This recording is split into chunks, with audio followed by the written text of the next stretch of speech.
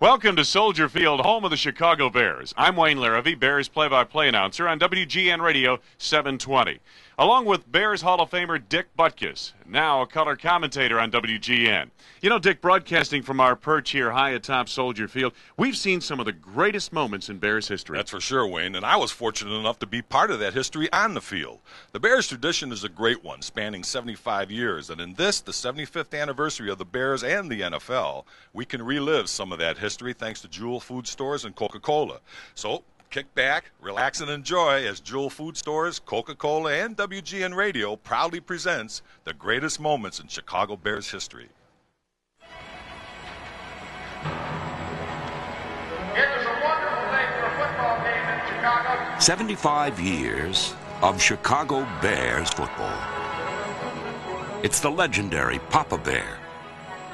It's the Bruise Brothers. And fathers and sons together at Soldier Field. It's the monsters of the Midway. Then and today.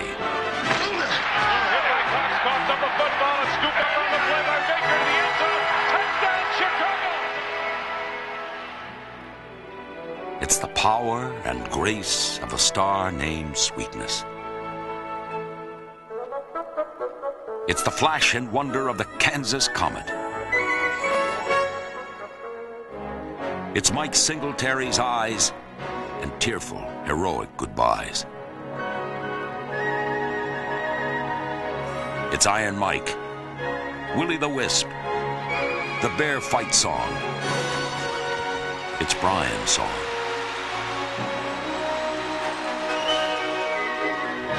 It's the class of the great Sid Luckman and the sass of the undaunted Jim McMahon. They thrilled us with their T formation. They chilled us with the 46 defense.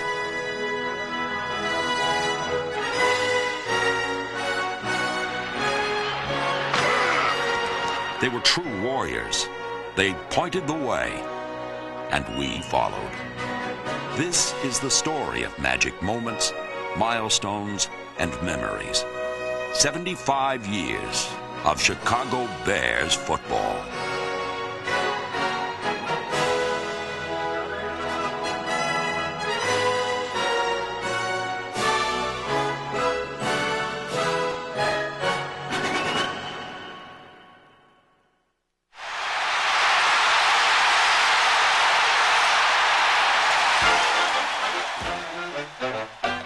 The Roaring Twenties. Speakeasies thrived. The Babe was hitting homers, and America was growing. Such was the backdrop for the founding of the NFL. At the forefront was an entrepreneur and pretty good end named George Stanley Halas. He ran the Decatur Staleys, later the Decatur Bears, and ultimately he convinced the great Red Grange to play for his Chicago Bears. The Galloping Ghost packed him in. Halas signed a bruising runner named Bronco Nagurski and Hall of Fame end Bill Hewitt. And in 1933, the Bears faced the Giants in the first World Championship ever. Fueled by the running of Nagurski and a game-winning lateral from Bronco to Hewitt to Bill Karr, the Bears won 23 to 21.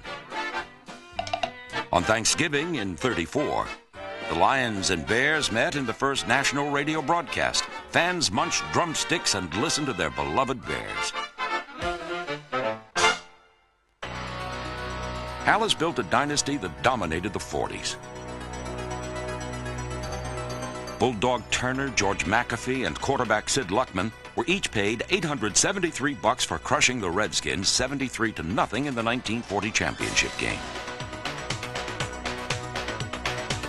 The T formation worked again the next year as the Bears beat the Packers 33 to 14 in the first divisional playoff in NFL history. A week later, George McAfee's touchdown and a fumble return for a score by Ken Kavanaugh sparked Chicago to its fifth NFL championship, a 37 9 win over the Giants.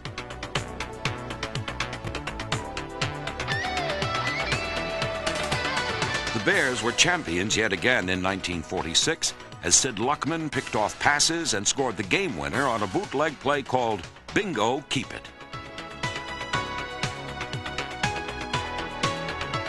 The guiding light was Halas. He won his first title at 26 and his last at 68. For over half a century, he was the Bears, and his like will never be seen again.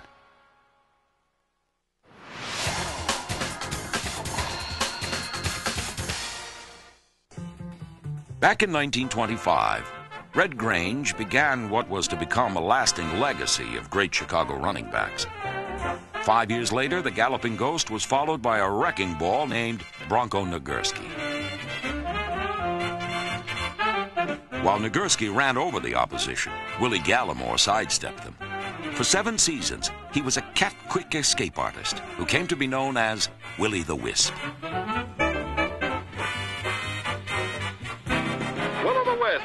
Galimore puts the Bears on their way to another score. Willie Galimore reverses his field. Bobbles the ball, gets it back, shakes off tackler after tackler on a spectacular touchdown gallop. Galimore's backfield mate was Rick Casares, one of the meanest men to ever wear the burnt orange and navy blue. Casares was an ex-boxer who ran mad all the time. In fact, Mike Ditka called him the single toughest player he'd ever known.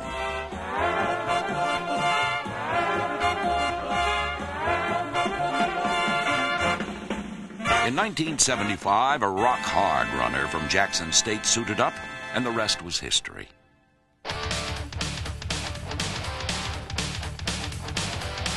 His name was Walter Payton. 13 seasons and nearly 17,000 yards later, he became the NFL's all-time leading rusher. Some are in awe of his mountain of statistics. Others recall the tacklers he overran and dragged. For others, it was his patented end zone leaps.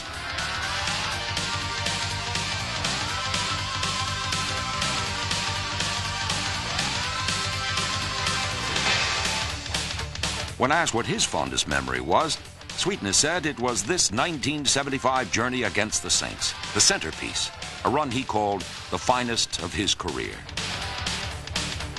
You didn't have to be a back to be a great runner in Chicago. Take Bobby Douglas, for instance. In 1972, he set the NFL record for rushing yards in a season by a quarterback when he reeled off 968, a mark that still stands to this day. The longest run ever at Soldier Field was this 80-yard score by Neal Anderson against the Packers in 1988. Toss Anderson looks to cut it back, now bounces to his right across the 35 to the 40. Shakes it on the defender the 50. Turning left into the clear. Neal Anderson to the 30. Being chased by Dave Brown to the 20. Down the left sideline to the 10 to the 5. In 1965, rookie Gale Sayers turned in the greatest single game performance ever.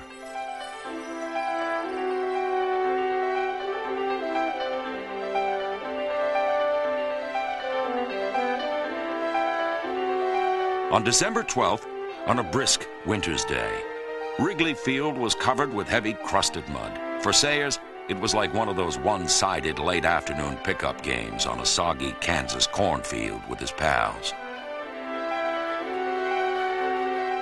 Fans had barely settled into their seats when they realized that Sayers had three, then four touchdowns, and he was just getting warmed up. Like those overmatched kids back in Kansas, the 49ers spent the day eating the mud that flew off the heels of the Comet. After his fifth touchdown, the crowd cheered for one more. In what George Halas would later say is the greatest performance he'd ever seen, Sayers was put back in to return a kick, and the result was an NFL record sixth touchdown.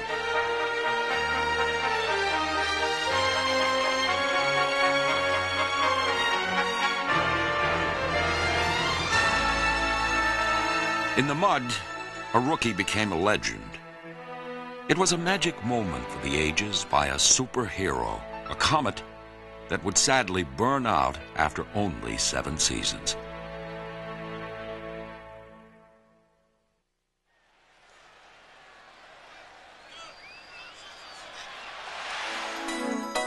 Twelve glorious seasons, a Hall of Fame career that helped change the face of professional football and shape the life of Sid Luckman. Wherever my success has been, there hasn't been anything in the business world or anything I've ever done that could possibly equal the thrills that I have enjoyed in football. The thrills began in 1939 when Bears head coach George Halas drafted Luckman out of Columbia University to run one of football's most revolutionary offenses. As a quarterback in Halas's innovative T formation, number 42 threw for more than 14,000 yards and 137 touchdowns, both Bears records that still stand. In just his second season, Luckman led Chicago into the 1940 NFL championship game against the Redskins, a team which had beaten the Bears 7 to 3 just 3 weeks earlier. George Preston Marshall, the owner of the Redskins, came out with these glaring headlines that the Bears were front runners, the Bears were crybabies, and Washington was going to destroy them. There was no way the Bears could possibly play against them. They'd beaten us once and they could beat us again. George Halas, being a great psychologist, and he was, he took that newspaper and hung it up right in the dressing room, and he said, here it is. This is what the Redskins and the owners think about you. Is my opinion of you is that you're the greatest football team in America. My opinion of you, you got to prove it to yourself, which is very, very important. Prove it to your family and prove it to the fans of America. We went out on that field and it was almost devastating. On the game's second play from scrimmage, the Bears' George Wilson delivered the game's most devastating block. After Bill Osmanski's 68-yard touchdown run, Sid Luckman and the Bears continued to bomb the shell-shocked Redskins. The Bears rolled to an astounding 73 to nothing victory, the most lopsided win in championship game history. It was the first of four World Championships the Bears would win over the next seven seasons.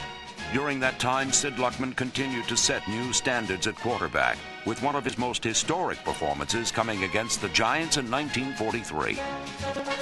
In front of his hometown New York crowd, Luckman became the first quarterback to throw for more than 400 yards in a game and also established an NFL record with seven touchdown passes. It's one of the few games that my mother ever went to. She was always afraid uh, I would play and get hurt. So I was running with the ball, and she's sitting next to my brother and sister.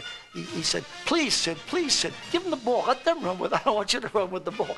My mom was that way, and she refused to just go to many games, but uh, she did go to that one. That made, that made it that much nicer and that much more thrilling for me that she was there. Later that season, Luckman led the Bears to their third NFL title, throwing for five touchdowns and intercepting two passes against the Redskins I think probably that was, humbly I say, that's the best game I've probably ever played. Indeed, it was one of the best all-around performances by any player ever. The Bears' championship reign was a tribute not only to the on-field leadership of Luckman, but also to the legendary guidance of Coach George Halas, a man whose innovative vision and inner fire drove his team to greatness.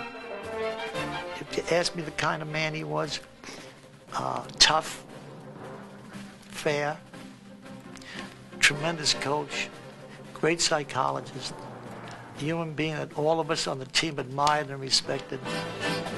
The ingenious X's and O's drawn up in his playbook helped change the game.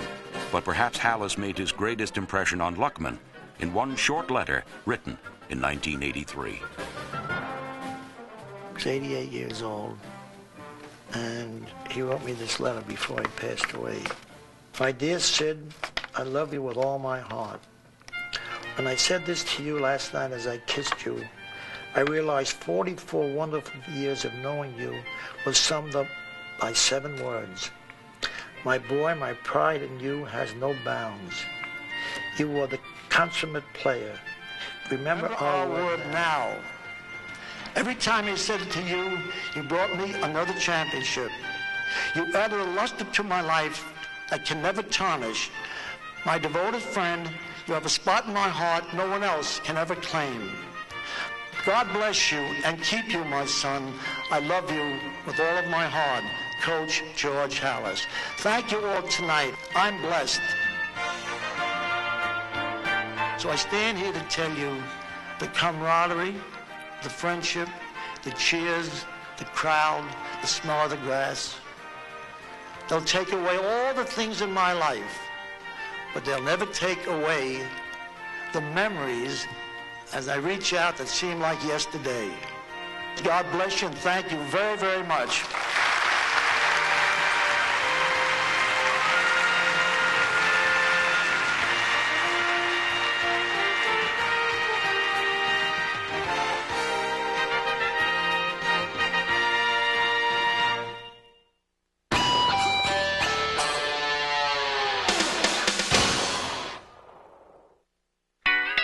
Feathers was a lean Tennessee rookie, often overshadowed by teammate Bronco Nagurski.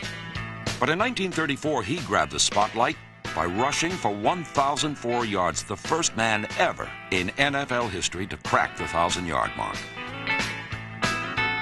Fighting Irish quarterback Johnny Lujack got the hot hand 15 years later when he set an NFL record by passing for 468 yards against the Cardinals. Lujack fired six touchdown passes, one short of Sid Luckman's mark set in 1943.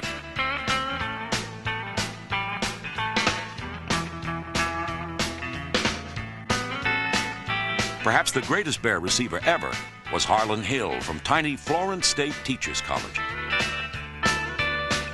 He was a lightning quick game breaker. And in 1956 against the Giants, he made the greatest catch in Bears history.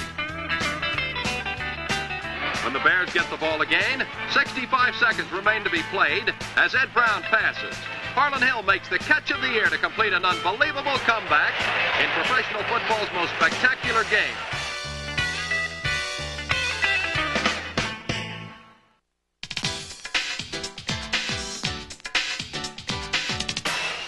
McKinnon inside the 10. Dennis makes a play on it at the 6.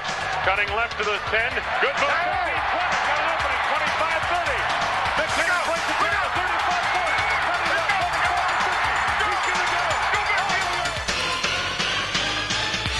Dennis McKinnon's acrobatic return against the defending champion Giants was a memorable moment indeed. And in 1990, Johnny Bailey returned to punt 95 yards, the longest in Bear history. He is ahead of the field. 40, 50 to the 45, 40. He may go all the way. 30, 20, 15, 10, 5. Touchdown, Johnny Bailey. Dick Butkus will never be remembered for his returning prowess. But imagine for a moment that you're the wedge buster and you look up only to find number 51 barreling straight upfield directly at you.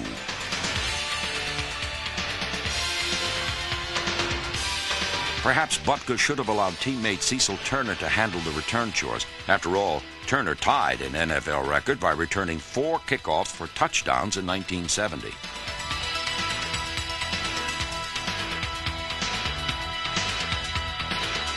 The greatest ever, of course, was Gale Sayers, the feared kick returner for the NFL's 75th anniversary all-time team.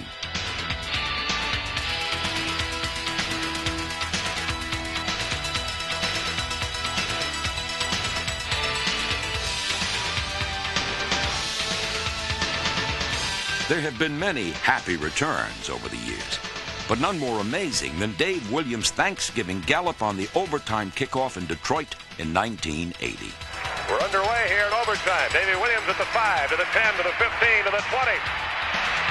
He breaks through to the 25, to the 30. Coming to the near sideline. He's to the 40. He's to the 50.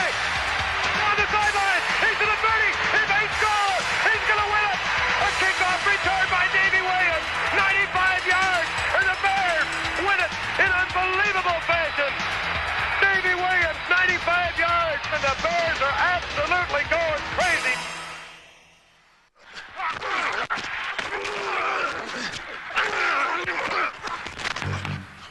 The 1963 Chicago Bears were, like their coach George Halas, fiery, feisty, and frequently ill-tempered.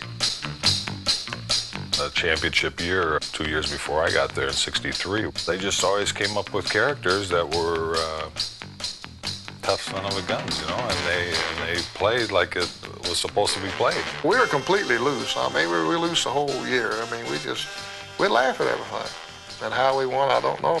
we got every break going. We had held the opposition about 10 points. Atkins led the Monsters of the Midway, football's meanest and stingiest defense. A unit comprised of men who worked hard, yet played hard too. Doug Atkins and I got a martini drinking contest one night, and I, I think it was 21 when I left it. And uh, he had to drive me home. Now, how we ever made it, I don't know. But it was my wife was in an apartment in Chicago. When I got into the apartment, and I fell into the bathtub, and I couldn't get out. So she said she would call Doug. So she called Doug. He was living in the same apartment hotel. Doug comes down, and she hands him the baby and said, "You hold the baby, Doug." And then she looked at him and said, "Well." Hell, you're as drunk as he is. But on Sundays, the Bears were sober, sullen, and deadly serious. When you came to play the Bears in Wrigley Field, it was very simple. When you had to go up against guys like Doug Atkins, Stan Jones, Ed O'Bradovich, Bill George, Richie Petitbon, Larry Morris, you had some of those gorillas looking at you. Come hell or high water, the Bears were going to put a physical beating on you. I don't care whether you won or lost. You're going to know you in the damnedest game you ever been in your whole life. Unlike most championship teams, the Chicago players who got most of the attention were on the defensive unit. We proved defense can win it. We can win a championship on defense.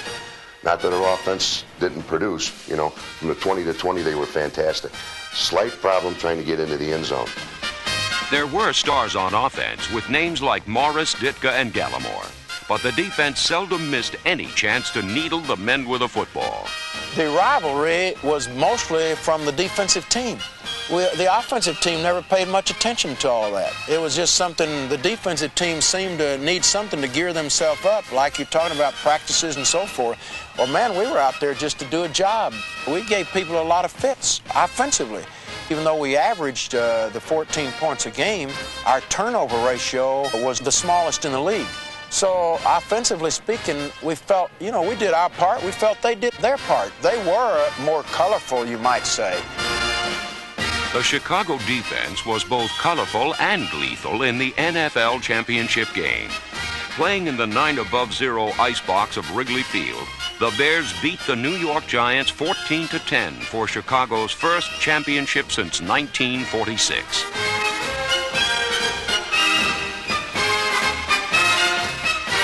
These guys that, God damn it, they were men. Uh, word was their bond. Uh, they went out on a football field and they knocked the hell out of people. And I'm so thankful that I had the opportunity to play with, uh, with the people I did in 63. Great people.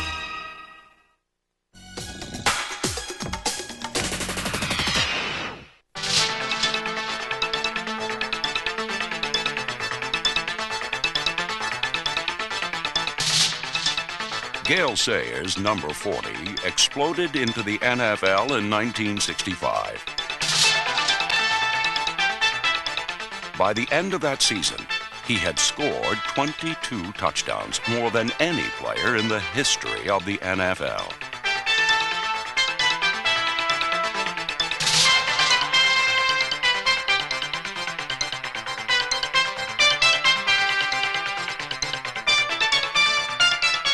Five years, Sayers' legs continued to pump. He led the league in rushing twice, set an NFL record for kickoff returns, and once scored an incredible six touchdowns in a single game. He's the only guy I think that could be running, stop on a dime, tell you whether it's head to tail, and not even break stride. What we remember about Gale Sayers are not certain games or plays. We remember the moves. Each one an original. Never seen before, never seen again.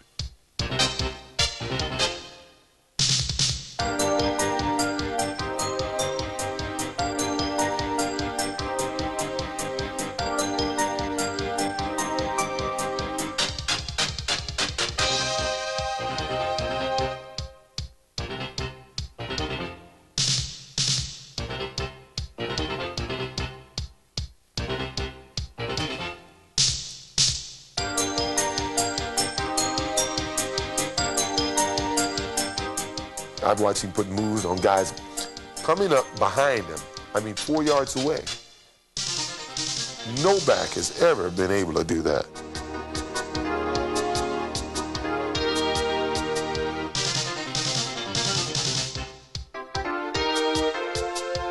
I had great peripheral vision. There's no doubt about that. I could see everybody on the field. And so I knew where, where to run, where to cut. In the same way, I could I had a, a, a feel for where people were because I know many times, many runs, I want to look at films. There'd be a fellow coming from a blind side, and uh, no way I could see him, but I could feel him. And he gave me a fake like this here, and my body went one way, my mind went the other way, and you, something happens to your motor when that happens. It's hard to explain. But my legs went limp, and I had nothing left. But the only problem he made was he went one too many fakes and came right back into me, and I hit him and knocked him down. He said, nice tackle, Floyd. And I want to say, I couldn't even tackle if I wanted to. You ran into me.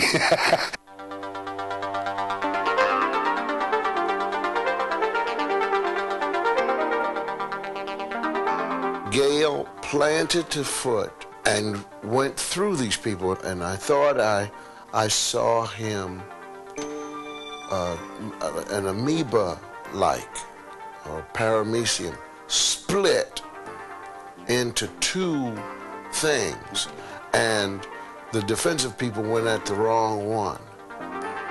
Sayers' style, while beautiful, was deadly. In 1968, the dangers he so deftly sidestepped caught up to him. They say that uh, when once you get a knee injury, you should think about quitting because uh, a running back very rarely comes back from the type of knee injury that I had. But uh, quitting, I want to prove that one could come back from a serious knee injury within a year. They say so many times, well, it takes two years, take three years to come back. I want to prove that you could come back, and uh, as I said, I had one of the worst knee injuries ever. The next year, I think Gale Sayers came up with maybe the best performance of his entire life.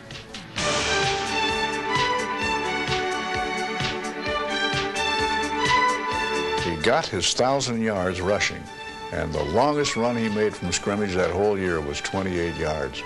But he was determined to get that 1,000 yards, to do that job, and instead of being able to run around everybody, he just had to do it the hard way, inside end. And he did it.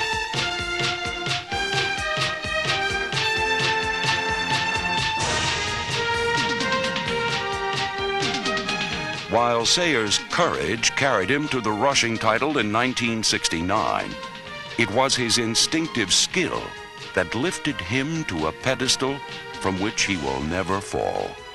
I proudly present for induction into the Hall of Fame Gale Sayers. His like will never be seen again.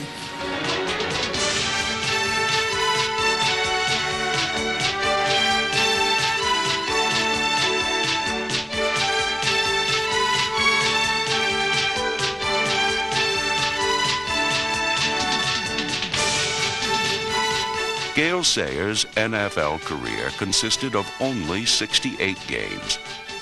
But in the eternal autumn of football memories, he remains undiminished, forever vibrant and free. A comet sighted by all who study the firmament of football.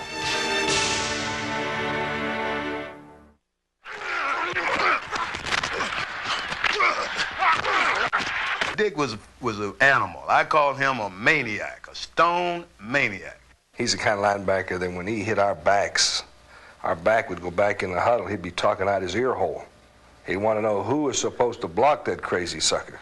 Before you could begin to try to block on Dick, you had to overcome the mystique. And uh, he didn't appreciate this, but I said it was almost like an odor. He exuded a kind of a presence. He tried to hurt you. You know, he was just so competitive. You know, not only did he not want you to gain a yard, he didn't want you to gain an inch. You know, as soon as you had that football, you were the enemy.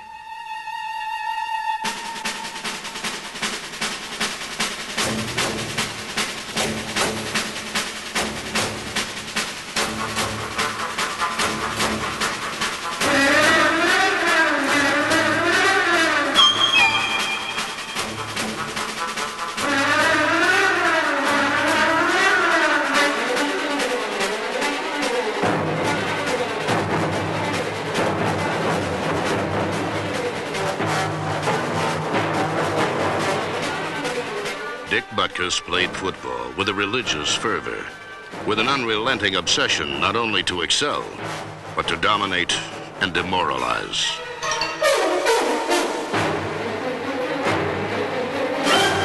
Dick was not satisfied with just an ordinary tackle.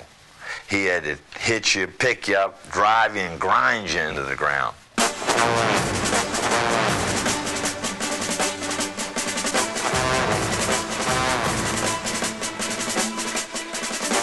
For Dick Butkus, football was never a game, but a street fight.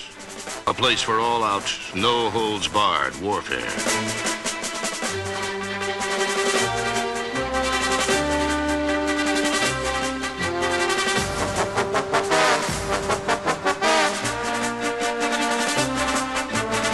He was an animal, and he was a well-conditioned animal, and every time he hit you, he tried to put you in the cemetery, not the hospital.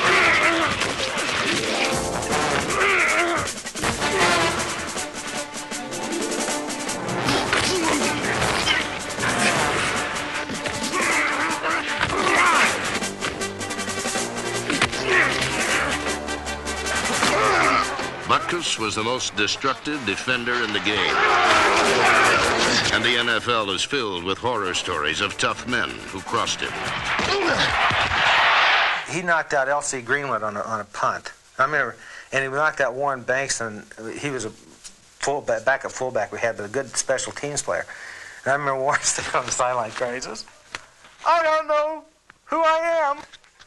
Because Buck Butkus had blindsided and just KO'd him. For Dick to run a 100 yard dash, it'd take him three days. But I want to tell you something from that middle linebacker 20 yards this way, 20 yards that way, 20 yards that way. I mean, nobody, nobody was quicker than he was.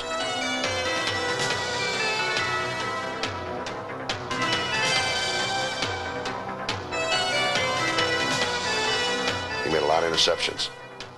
If he was told in past defenses to be in a certain area, I mean, he was there.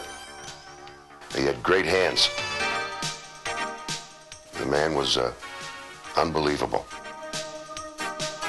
His whole damn life was football. Forget about it. Wasn't driving a pretty car.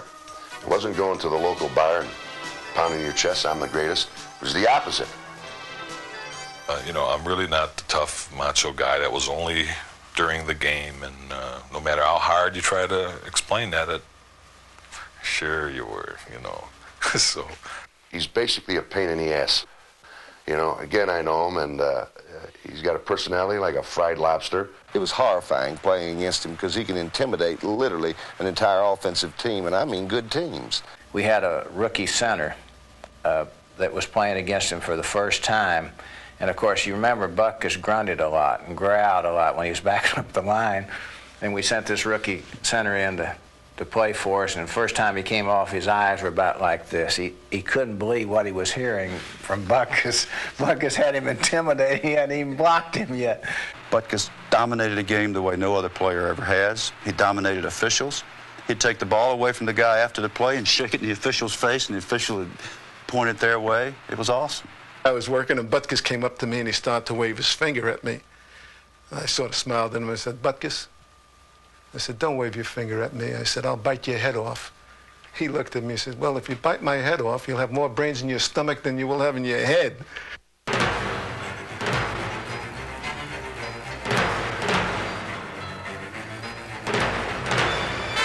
From his personality to the impact of his tackles, everything Dick Butkus did was memorable.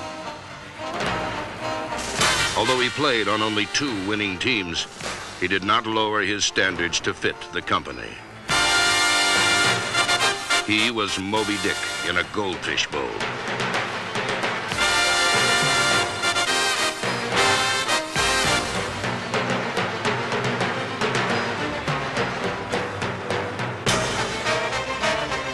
His nine year career stands apart as the single most sustained work of devastation ever committed on a football field by anyone, anywhere, anytime.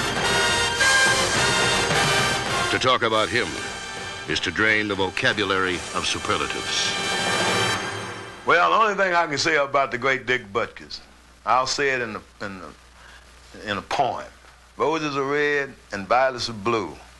If you've got any sense, you'll keep Butkus away from you.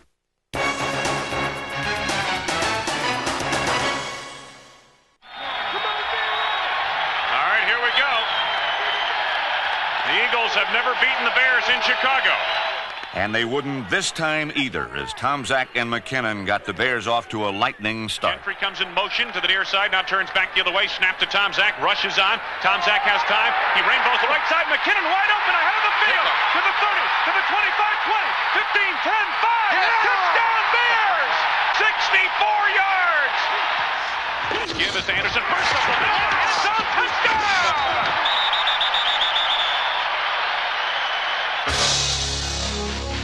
Illinois poet Carl Sandburg wrote, The fog creeps in on little cat feet.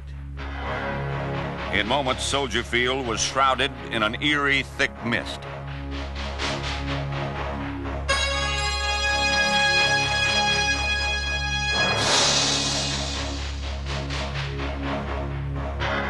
Under pressure and a smothering blanket of fog in a game where announcers couldn't announce, coordinators couldn't coordinate, and fans couldn't see, the Bear defense made the plays that had to be made. You can get ground all you want, but you got to hold them to a field goal. You don't want to let them in the end zone. There's the snap now to Cunningham on first and 10 with no huddle. He fires the left side, and it's intercepted, I believe.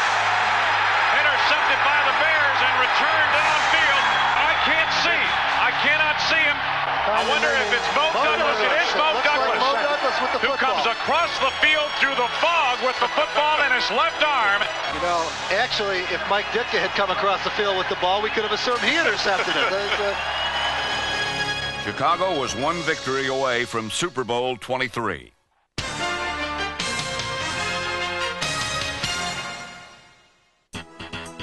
After 50 years of football, the Bears played their last game at Wrigley Field. The date was December 13, 1970. The opponent was perennial rival Green Bay, and the man of the hour was quarterback Jack Concannon. Concannon kept the Packers off balance by running and found 1,000 yard receiver Dick Gordon for a score. Chicago never looked back.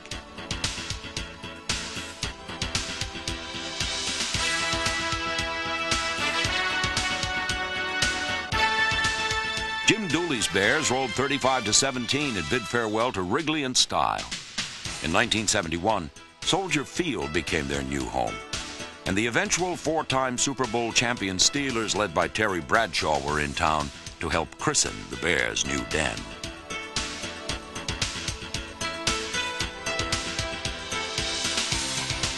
At first, it appeared that Chicago never should have cut the ribbon, but a big play by linebacker Ross Brupbacher launched a comeback.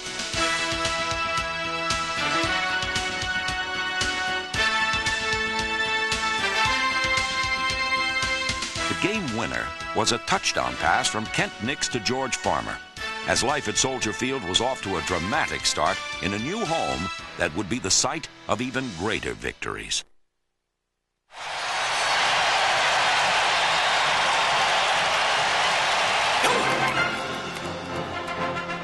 If you prevailed upon Walter Payton to describe what happened on that memorable November Sunday back in 1977, he'd probably just say that his offensive line blocked exceptionally well. He might recall that he carried the ball 40 times, a workhorse on a gray, overcast day. If you questioned Hall of Famer Alan Page and the rest of the Viking defenders about what Walter did that day, you'd just get a shrug or a shake of the head.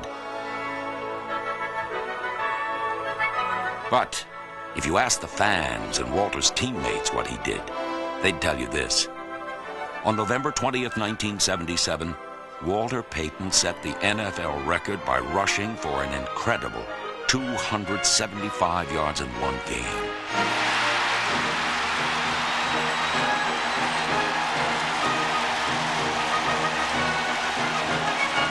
How did Walter feel about setting the record?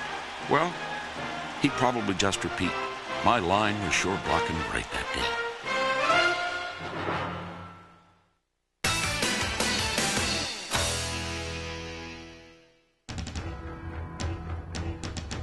For 14 years, the Bears had been frozen out of the playoffs. But against the Giants in the 1977 season finale, they reached deep. Horrendous conditions foiled Walter Payton's run at a 2,000 yard season. But Mother Nature saved her cruelest tricks for Chicago's special teams.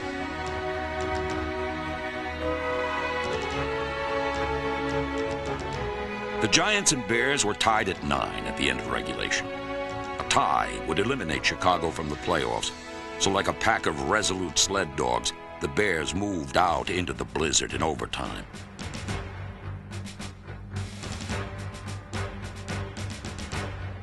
With just over three minutes left in sudden death, the field goal team missed connections again, but the misfortune only deepened their resolve.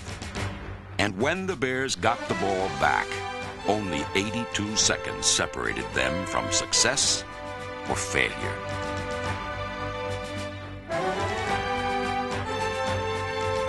With nine seconds left in sudden death, Chicago's fate rested once more on the leg of Bob Thomas. There's a snap. It's a good one. Thomas puts it in the air. It's gone. It's gone. The Bears are in the playoffs. The Bears are in the playoffs. The Bears are in the playoffs. Bob Thomas hits a 28-yard field goal, and there's jubilation. The Bears have overcome everything. And look down here. They're rolling on the ground here. We got Parsons and Neal wrestling on the ground in the ice here in jubilation. And the Bears, in the last second, have defeated the New York Giants in overtime, and they have captured a 12-9 decision here. And what a happy guy Bob Thomas must be right now.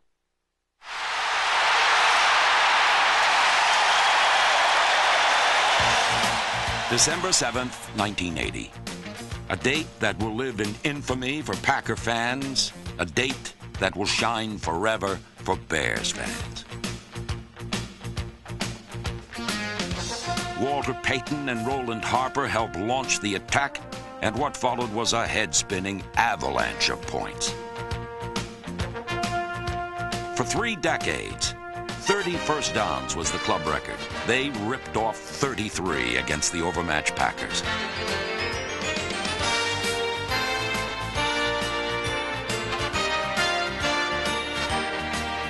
Quarterback Vince Evans completed over 80% of his passes, and the Bears scored an astounding nine touchdowns. When it was over, the final score read Bears 61, Packers 7. The most points ever scored by one team at Soldier Field.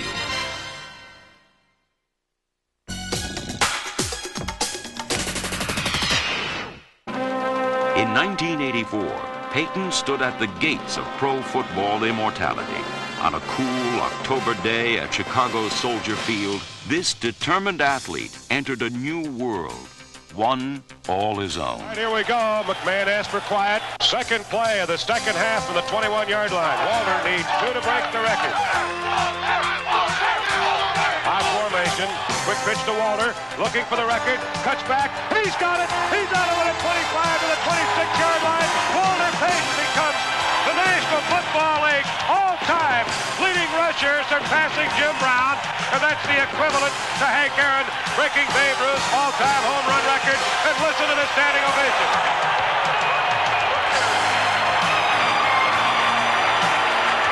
The motivating drive for me has been for the athletes that have tried, but yet and still have failed to reach that certain achievement.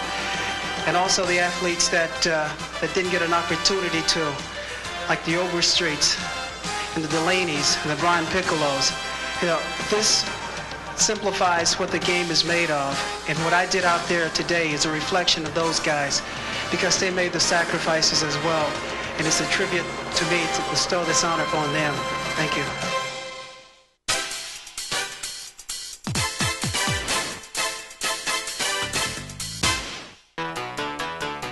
With starter Jim McMahon sidelined with an injury, the Vikings took a 17 9 lead, forcing head coach Mike Ditka to summon the tricks of his magician-like quarterback. Evidence from the sidelines looks like Jim McMahon will be coming into quarterback. Spent two nights at Lake Forest Hospital for back spasms up near his neck. And he's on to try to revive the Bears offense. Payton the left side. Vikings coming on a blitz. McMahon back to throw. Throws it deep down the middle. Willie Gault. His end zone makes the over the shoulder catch to the 30, to the 25, 20, 15, 10, 5. Touchdown! All right. the first play from scrimmage for Jim McMahon with an all-out blitz coming at him. He got it away. Of course, uh, McMahon took a nice shot after the play, but so what? McMahon's first two passes were for touchdowns, and he added a third to beat Minnesota 33 to 24.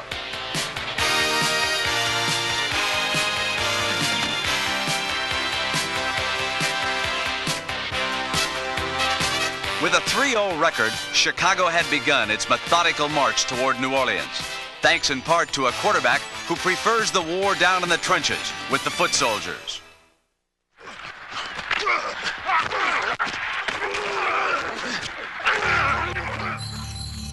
For the first time since 1963, Chicago was an arena for pro football's postseason gladiators. And while chilling memories of the Bears' proud past added to the already freezing temperatures, the only ice on the field was running through the veins of each Chicago player.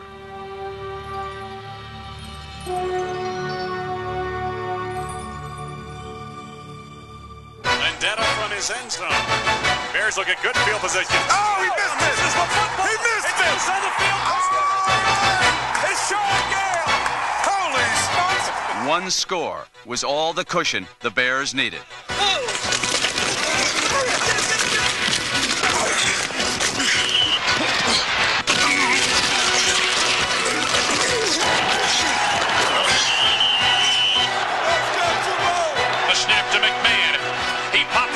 right side of the end zone for McMahon. Touchdown! Great catch for the touchdown! Great catch. Off to the left side, and McKinnon wide right. McMahon back to throw. Pitches the right side. McKinnon. He's got it. Five down. The Bears scored a convincing 21 to nothing shutout over the Giants, but their journey was still far from over. This is not the end of the road. I mean, there's work to be done. There's miles to go. That's the way the poem goes. We've got a little way to go yet. And I tell you, it's going to get better. Well, like I said, uh, the best is yet to come. It really is. Soldier Field in Chicago, the NFC Championship, and a trip to New Orleans for Super Bowl 20. After 23 years of waiting, Chicago's dream of a championship was soon to become a reality.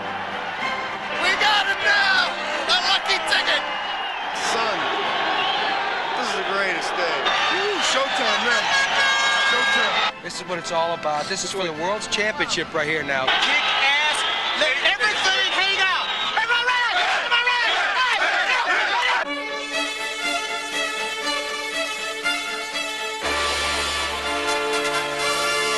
As they had done all season long, All Pro Jimbo Covert, Mark Bortz, Keith Van Horne, Tom Thayer, and Pro Bowler Jay Hilgenberg worked as an offensive line to launch the winning Bear attack. McMahon drops back to throw. McMahon steps up. Now he'll take the tilt. Cutting to the 15, to the 10, may go all the way to the 5. And he's a winner.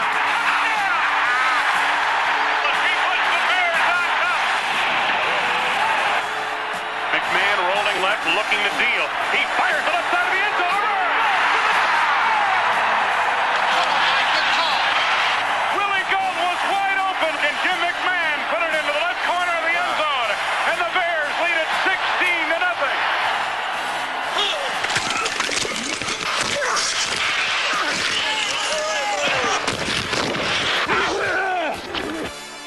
Mad Dog Bear defense shut down the Rams' Eric Dickerson, then ended the game in storybook fashion.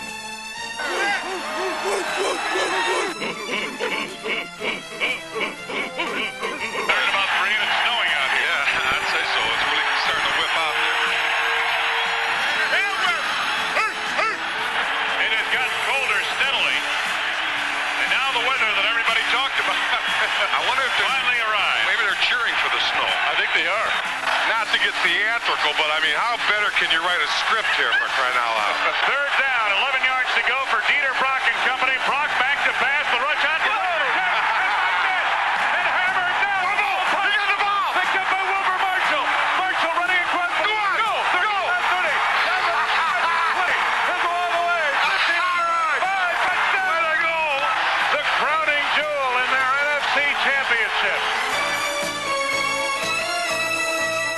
record second consecutive playoff shutout was a spectacular amen to the prayers of not only a football team, but of an entire city.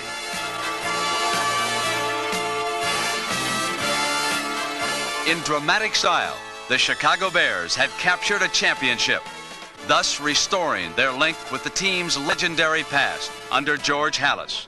And the reward was a trophy bearing his name.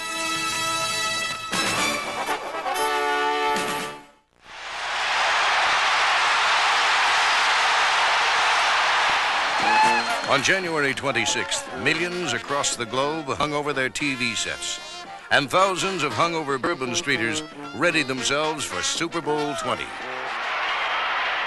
The surprising New England Patriots and the mighty Chicago Bears squared off to determine who indeed was the NFL's best. Get in there. What's going on? Hey, hey, turn now. I got the tone right now. You belong here. You're the best. Let's do it. Go.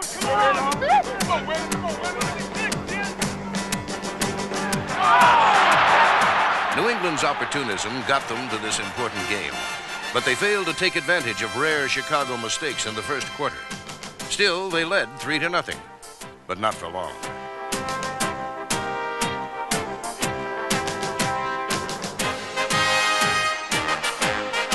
Jim McMahon's accurate arm and gutsy running helped the Bears to a 6 to 3 lead.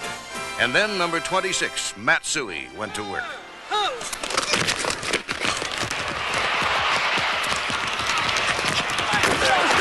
The Bears led 13 to 3 after the first period, and their punishing 46 defense, a unit that had shut out both the Giants and Rams in the playoffs, began to dominate. Number 58, Wilber Marshall, helped sack Patriot quarterbacks seven times, while MVP Richard Dent and All Pro Mike Singletary, number 50, limited New England to a Super Bowl record seven yards rushing. Chicago's is a high tech, sophisticated defensive scheme. And for the Patriots this day, the 46 simply blew them away.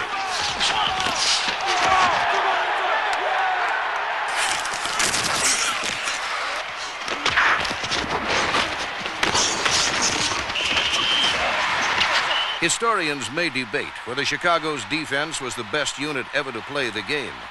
But when Jim McMahon snuck in behind a crushing block by William Perry, number 72, no one could disagree that with a 23 3 halftime lead, the Bears had wrapped up Super Bowl 20 by intermission.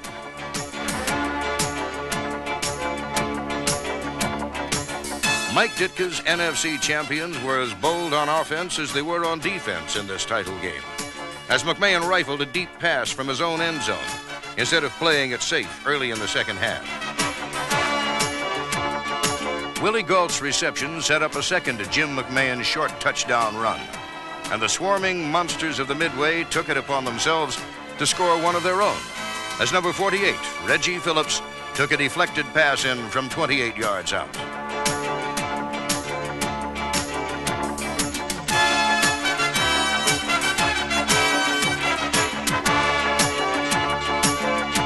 The Bears totaled three touchdowns in the third quarter, a Super Bowl record, with the last coming courtesy of the man everyone came to see, his immenseness, the refrigerator.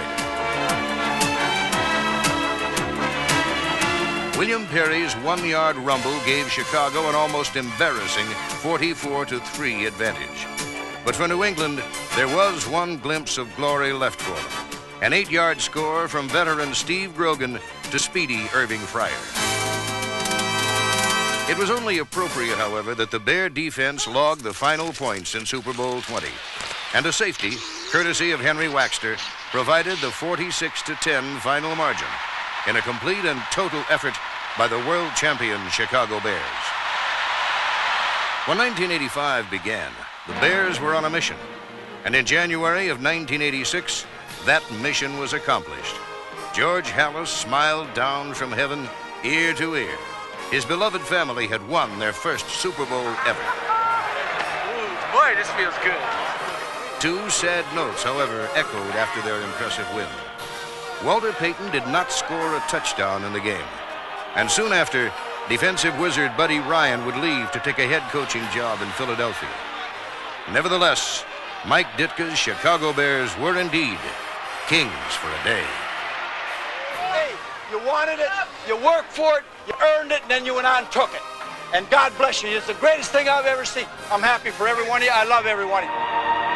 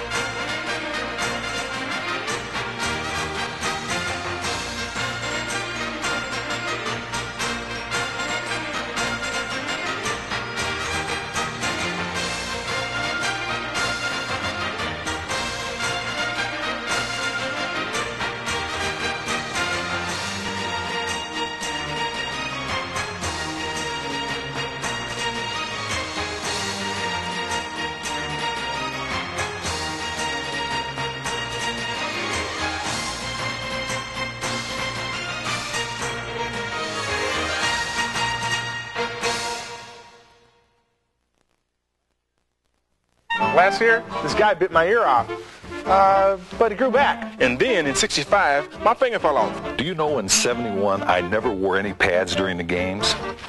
Didn't need them. One time I stared at a team so hard they lost 15 yards before the snap. Find out what really happened by getting the Bears, a 75-year celebration. Available in three editions. Call 1-800-49-BEARS. Bear down, Chicago Bears. I wrote that, you know.